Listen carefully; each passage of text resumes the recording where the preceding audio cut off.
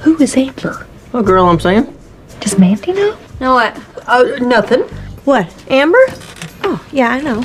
She's divorced. What? Don't worry, she ain't old. It's just she got married too young. So, Mandy, can I invite your mom? Um, That's a no.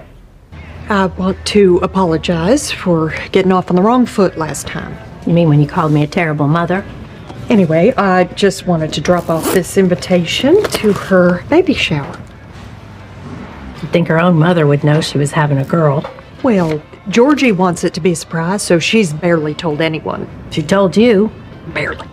You know what'd be great is if you could come and help us plan it. I'd like that.